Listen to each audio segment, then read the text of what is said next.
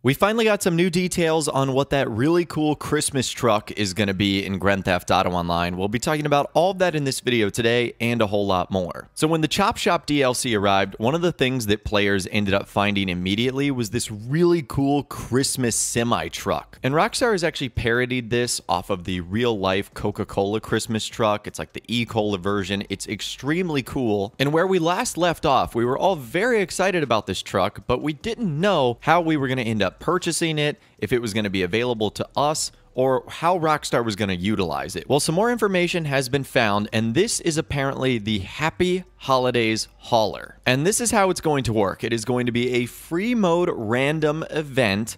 And as you guys can see here in this footage, you'll actually uh, see it appear on the minimap. It's this blue semi truck icon.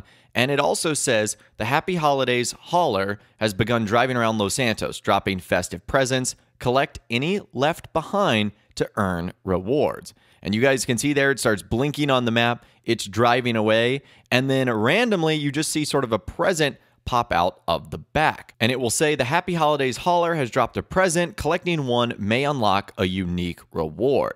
And if you end up grabbing it, you can see that that one was a 1000 RP $9,450 and some snacks. And apparently, it also has the ability to drop ammo, and there's two exclusive festive sweaters the E. Cola festive sweater and the Sprunk festive sweater. And the only other requirement is there must be at least two players in the session in order for it to spawn. So it doesn't matter if it's invite only, friends, or public session. There just needs to be two of you guys in there for this thing to spawn. And it actually looks really good at night too, because it has sort of these lights on the side that kind of make it glow. And you can see this is when it, of course, is snowing. So I can only imagine that it's going to arrive when the snow is here, closer to the festive holiday season. And when it's about to drop a present, you can kind of tell because the back doors end up opening and there's some like green smoke that pops out. And it doesn't even look like you have to be out of your vehicle in order to get it you can just drive behind it and you can grab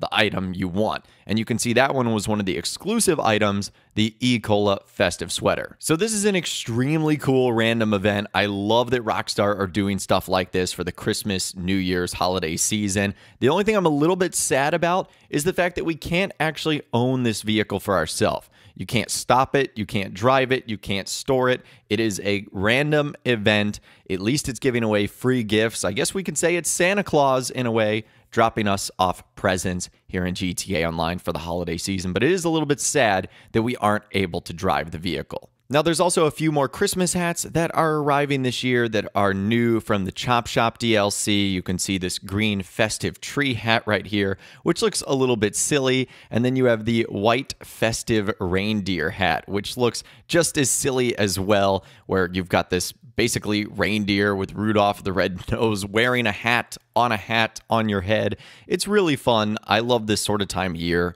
and all the things that Rockstar add in GTA Online. Now, since we're on the subject of drip feed and things that will likely arrive over the next couple of weeks and months, let's also talk about more robberies that are going to be introduced to the Chop Shop. So, as things currently stand, we have three robberies in game the cargo ship robbery, the gangbanger robbery, and the Duggan robbery. Well, Rockstar has two robberies that are left over in the drip feed that is the podium robbery and what is called the McTony robbery. And to give you guys a better idea on what those actually are, the podium one involves the diamond Casino and Resort, and the McTony one is apparently the submarine robbery. Now, there's also a cool feature that looks like it is tied to the podium robbery, and that is the option to keep the car for yourself. Right now, it's currently disabled, which means in the future, Rockstar could enable it. So, my best guess is that this is kept for the podium robbery. This would be another way to claim the podium vehicle as a personal vehicle other than winning it via the lucky wheel. So I'll keep you guys posted when Rockstar decide to enable that feature, but it looks like that is tied to one of the robberies that's going to be coming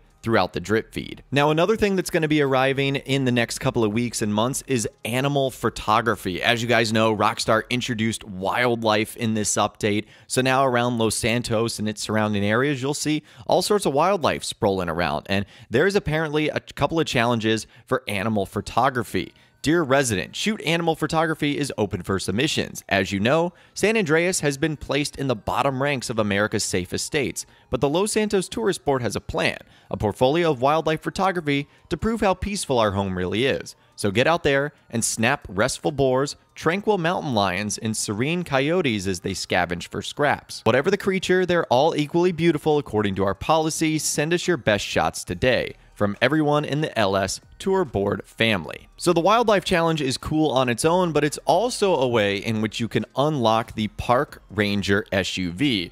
This is a line of code from the game. In order to purchase the Park Ranger, photograph one animal as a part of the Shoot Animals photography. And then if you photograph 10 animals as a part of the Shoot Animals photography, you'll unlock the trade price for this vehicle too. And apparently there is an outfit that you can unlock for this entire thing as well called the Zoophilist. And it looks like this sort of Hawaiian-like shirt with a bunch of different palm trees and animals on there. And last but not least, where I want to wrap up in this video today, and I don't know if this is connected to Christmas or not, it looks like there is a Yeti hunt that we're going to be able to do. We're going to finally be able to find Bigfoot in GTA Online. I don't know when this is going to be introduced, but you eventually get a text from Tanner Hey, you a hunter? You better be, because there's something in those woods, and it ain't a bear. Trust me, damn thing nearly killed me once. They'll say you're crazy till you get its hide, then you'll be laughing all the way to the bank. Investigate the Chiliad wilderness question mark to search for clues of an unknown creature,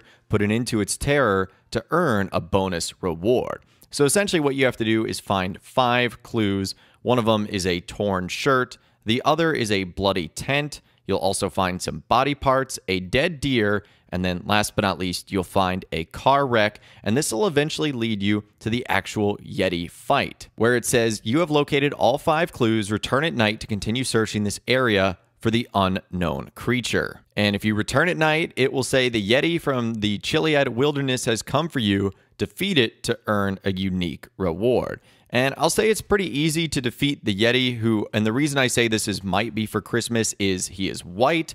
And if you were able to defeat the Yeti, you get the Yeti outfit unlocked and added to your wardrobe, and you also get $50,000. But, anyways, that right there is everything that Rockstar has planned over the next couple of weeks and months to celebrate Christmas, New Year's, and 2024 here in Grand Theft Auto Online. I'm excited to see everything that's coming in the festive surprise and the cool little mysteries they've decided to include in this update as well. Let me know what you are looking forward to the most as far as the unreleased content goes here and online in those comments down below. I'd love to hear from you guys down there. If you guys did go on to enjoy this video, though, a like rating would, of course, be awesome. And be sure to subscribe to my YouTube channel if you are new. You want to stay up to date on all latest GTA and all the Rockstar Games videos that I'll be doing here on my channel. And be sure to ring that notification bell as well. Sometimes YouTube just doesn't work, and if you ring that bell, you'll always be guaranteed to be notified when new videos arrive. But of course, as always, guys, thank you all so much for watching. Take care, and I'll see you guys in the next video.